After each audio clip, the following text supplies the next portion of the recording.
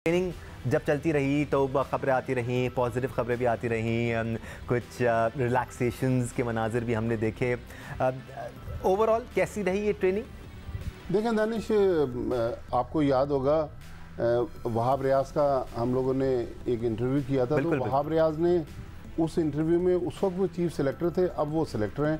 यही कहा था कि काफ़ी अरसे से फिटनेस के मामला जो थे उनको इग्नोर किया जा रहा था यो यो टेस्ट वगैरह उसका बिल्कुल कॉन्सेप्ट ही ख़त्म हो गया था। तो इन फिटनेस के मामला को देखते हुए अब पीसीबी ने दो हफ़्ते काकुल में जो पाकिस्तान मिलिट्री एकेडमी है उनके जो ट्रेनर थे उनके साथ लड़कों का एक अच्छा सेशन रखा और लड़कों ने काफ़ी इंजॉय भी किया। मौसम भी बहुत ज़बरदस्त था। वो फिर लोकेशन इतनी अच्छी है बिल्कुल। कि अब वो सारा कुछ हो गया। उसके बाद लड़के ईद पर गए।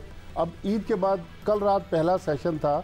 न्यूजीलैंड की जो सत्रह रुकनी टीम है, उसका कल रात पिंडी स्टेडियम में पहला सेशन था। आज शाम को दूसरा सेशन होगा और कल फिर पाकिस्तान टीम जो है, उसने वर्ल्ड कप के उस कैंपेन का आगाज़ करना है, जो यकम जून से अमेरिका और वेस्ट इंडीज़ में शुरू होनी है। बेसिकली अभी तो सत्रह प्लेयर अनाउंस हुए हैं, लेकिन आगे जाके पाँच मैच ये हैं होम ग्राउंड पर। उसके बाद तीन मैच हमने आयरलैंड के खिलाफ खेले चार इंग्लैंड के खिलाफ। उसके बाद इन ग्यारह बारह मैचेस के बाद हम एक उस टीम को बनाने में कामयाब होंगे जो वर्ल्ड कप में है। और बड़ी ज़बरदस्त ब्लेसिंग है भट्टी साहब ये कि पाकिस्तान के पास इतने सारे मैचेस हैं। और सिक्कू भाई अच्छी बात ये है कि बड़ी टीमों के खिलाफ भी खेल रहे हैं और हम और जो एसोसिएट टीम्स हैं आईसीसी की उनके खिलाफ भी हम खेल रहे हैं। मार्जिन है हमारे पास एक्सपेरिमेंटेशन का। जैसे न्यूजीलैंड के खिलाफ का सीरीज़ है उनके जो मेन स्ट्रेंथ वाले बॉयज़ हैं वो इस स्क्वाड का हिस्सा नहीं है। वो भी काफ़ी हद तक नए प्लेयर्स हमारे पास भेज रहे हैं। तो अच्छा मौका है पाकिस्तान के लिए। बिल्कुल अच्छा मौका है। मगर अभी जो आपने सवाल किया था काकुल वाला जी सर। उसमें एक बड़ा इंटरेस्टिंग एक हमारे बड़े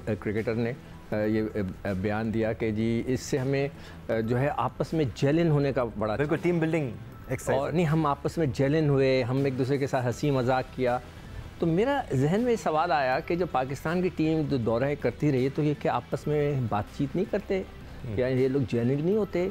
हमारे दौर में और जब मैं टीम के साथ एज असिस्टेंट कोच और एनालिस्ट था हम्म। तो टीम डिनर्स होते थे सब एक साथ एक मेज़ पे बैठ के टीम की तरफ़ से डिनर होता था सब आई एम श्योर होते होंगे तो ये बात मुझे एक अजीब सी लगी कि जी जेलिन हो रहे हैं हम्म। खैर चले। पर ये जो ट्रेनिंग सेशन है भाई थोड़े से डिफरेंट होते हैं। नहीं, नहीं, मैं खुद अटेंड कर होते हैं। मैं मैंने मंगला में अटेंड किया हुआ है। हाँ आपको तो अंदाज़ा होगा। फैंटास्टिक मेरा तो ज़िंदगी का एक्सपीरियंस होता है ऐसा एक्सपीरियंस था मैं शायद कभी ज़िंदगी में मुझे मौका मिलेगा ही नहीं। हम्म, हम्म, हम्म। कौन जाता है इतनी बड़ी बड़ी जगहों बिल्कुल किसी को नहीं इजाज़त होती।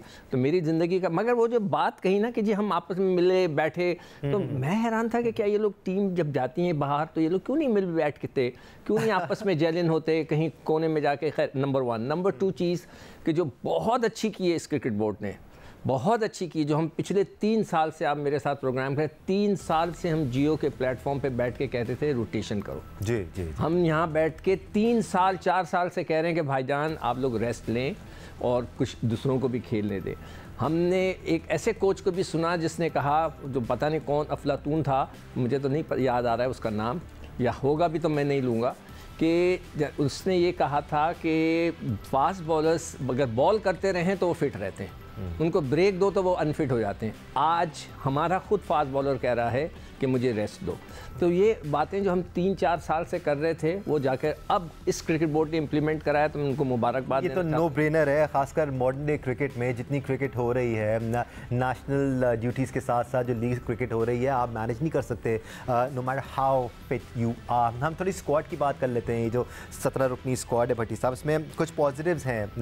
Please correct me I'm wrong मुझे जो पॉजिटिव लगते हैं साय मयूब एक पॉजिटिव है उन्होंने पीएसएल में भी दिखाया उससे पहले दुनिया भर में जो साय मयूब की बातें हो रही हैं, उनके अंदर टैलेंट मौजूद है। फिर एज अ बॉलर उन्होंने अपने आप को डेवलप किया है पी एस एल में। उस्मान खान एक पॉजिटिव है मेरी नज़र में। उन्होंने पी एस एल में अच्छा परफॉर्म किया। हाँ आप ये सवाल कर सकते हैं कि क्या पी एस एल में परफॉर्म करने के बाद सिलेक्शन होनी चाहिए, नहीं होनी चाहिए? ये एक अलग पेंडोरा बॉक्स है बट एक पॉजिटिव है, नया नाम है टीम में। साथ साथ आज़म खान एक बार फिर जगह बनाने में कामयाब हुए हैं। कुछ मैचेस उनको मिले थे he did not succeed but फिर इस वक्त टीम में मौजूद हैं। बड़ी फिट तस्वीर तस्वीर भी आ रही थी आज़म खान की, भट्टी साहब।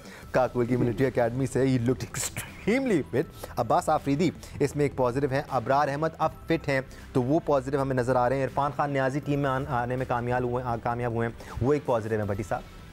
देखिए दानिश इसमें तो कोई शक नहीं है कि जिन लड़कों ने पीएसएल में परफॉर्म किया उनको इस सत्रह रुकनी टीम में मौका मिला। हो सकता है कोई एक आध इग्नोर हो गया हो।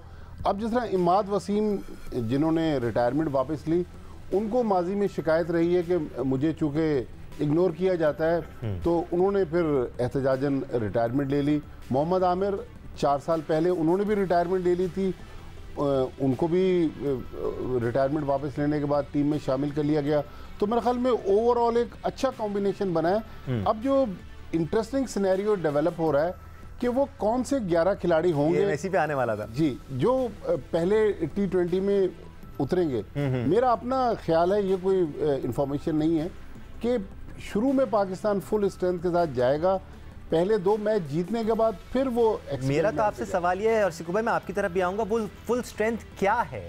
क्या आप प्रॉपर स्पिनर्स के साथ जाएँगे? जैसे उसामा मीर ने पीएसएल में बड़ा ज़बरदस्त परफॉर्म किया है अबरार अहमद ने ज़बरदस्त परफॉर्म किया है दोनों ने बहुत विकटें ली हैं दोनों बड़े अच्छे नज़र आए खासतौर पर उसामा मीर अच्छे नज़र आए। मैं चाहता हूँ कि जिस तरह पीएसएल में कॉन्फिडेंट नज़र आए पाकिस्तान की नेशनल टीम में भी उतना कॉन्फिडेंट नज़र आए।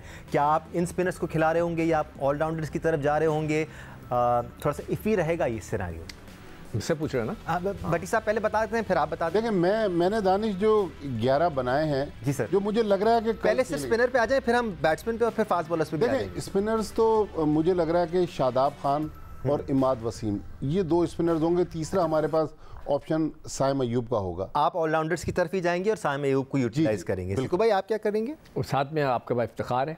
जी। इफ्तार को आप लोग भूल जाते हैं। तो आप भी यही करेंगे कि आप शादाब और इमाद के साथ जाएँगे या आप शादाब को खिलाएँगे? नहीं कह रहा।